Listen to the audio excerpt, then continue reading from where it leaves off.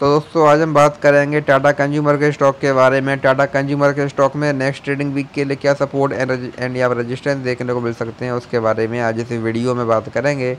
हम अगर यहाँ पर स्टॉक की बात करें तो हम देखेंगे जो ये स्टॉक है, ये हमको पहले यहाँ पर लगातार के लिए डाउन ट्रेंड में देखने को मिल रहा था। पहले हमको स्टॉक में लोअर, लो, लोअर, हाई वाला पैटर्न यहाँ पर देखने को मिल रहा था, लेकिन फिर स्टॉक ने यहाँ पर सपोर्ट लिया।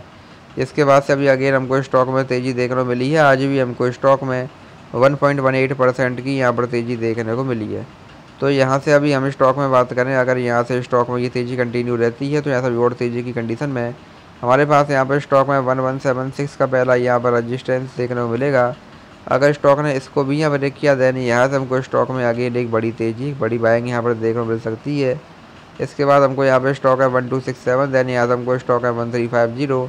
और अगर स्टॉक इसको भी यहाँ ब्रेक करता है दैन यहाँ से हमको स्टॉक में फोर्टीन हंड्रेड और फिफ्टीन हंड्रेड तक के लेवल्स भी यहाँ पर देखने को मिल सकते हैं।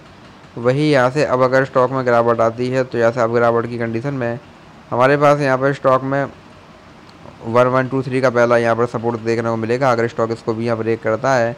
देन यहाँ से हमको स्टॉक है वन ज़ीरो सेवन एट और वन ज़ीरो थ्री ज़ीरो तक के लेवल्स भी यहाँ पर देखने को मिल सकते हैं एज ए नेक्स्ट यहाँ पर सपोर्ट तो ये स्टॉक में कुछ इंपॉर्टेंट लेवल्स हैं, आप इन पर ध्यान दे सकते हैं। बाकी वीडियो में कोई बाय सेल होल्डिंग सलाह नहीं है। वीडियो केवल एजुकेशनल पर्पज़ के लिए, धन्यवाद।